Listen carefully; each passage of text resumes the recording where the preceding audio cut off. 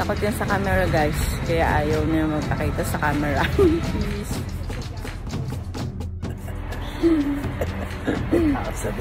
Follow for more guys, for more videos. Thank you for watching.